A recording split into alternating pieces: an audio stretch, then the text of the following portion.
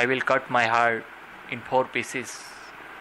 One piece for God, two pieces for my parents, and last piece for my lover, by whose kiss the piece will be converted into a heart.